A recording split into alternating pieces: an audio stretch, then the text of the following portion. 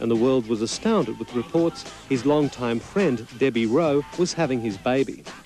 Unlike other loves or friends, Debbie wasn't famous or glamorous. Debbie and Michael have been friends for 15 years. They met when she was an assistant to his Beverly Hills dermatologist. Her friends say Rowe loves Jackson in a brotherly way, and having his baby was a gift of love. Jackson denies that she was artificially inseminated or that she's being paid.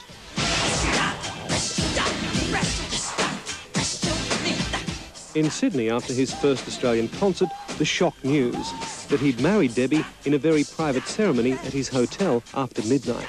I was very sceptical, although you should never be sceptical when it comes to Michael Jackson. But Entertainment reporters like Peter Ford were at first wary, but Jackson's LA office confirmed the marriage. They didn't release many details, leaving room for rumour to run rife. One story was he was married in the middle of the statue. He was in there for about an hour. I thought that was hilarious. Um, the other one was in a uh, church in King's Cross.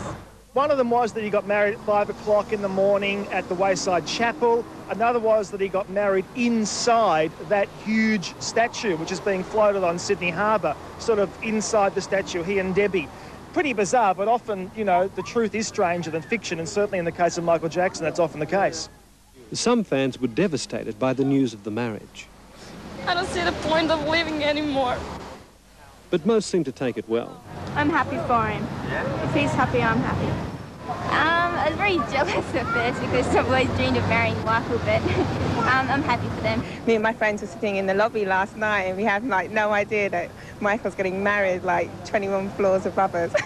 and the news of a baby Jackson? He'd make the best father in the world. He should have millions of babies.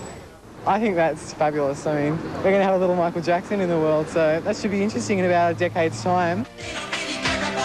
The Australian tour was organised by promoter Paul Dainty. Despite being intimately involved in the tour planning, he says the marriage was a total surprise to him. I didn't have any prior knowledge, you know. Um, I wasn't there. Um, look, I'm really happy for Michael. I think it's a fantastic thing for him to have done. Apparently, he's really happy. That's all I can say and he denies those rumours that he was a guest and indeed best man. Look, look I've heard so many different stories, bizarre stories since uh, Michael landed here and specifically related to the wedding. Molly and I were supposed to have gone to Michael's suite last night and then one o'clock in the morning or something and seen the register and come back to the bar and continue drinking. You know, it's going to give me a completely different take on reading, believing what you read and, uh, you know, what you uh, perceive as the real story when you read these things coming in from overseas. I mean, these stories and tales get out of control. The marriage announcement has attracted media attention from around the world. Press, radio and TV, usually hungry for news on Jackson, are now on a feeding frenzy, desperate to get those shots of the secret wedding and the new Mr. and Mrs. Jackson together.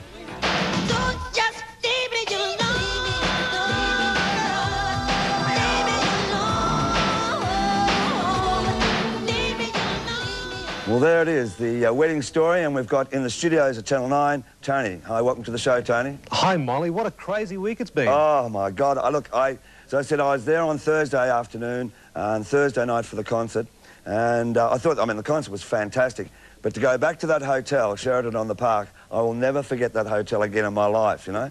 Now, what was... about those rumours that you were actually at the wedding?